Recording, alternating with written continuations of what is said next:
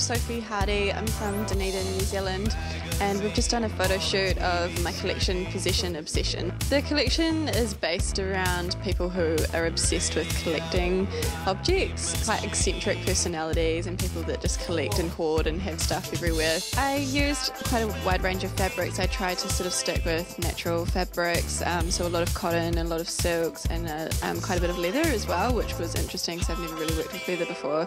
And I also did quite a lot of pleating, pleating of like cottons and silks, and then sort of like warped the pleats, like stitched them down just to give them like a really detailed, really beautiful texture.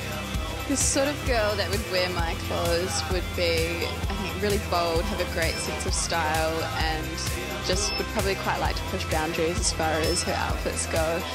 Someone that would that loves to stand out from the crowd, I guess, would suit my garments.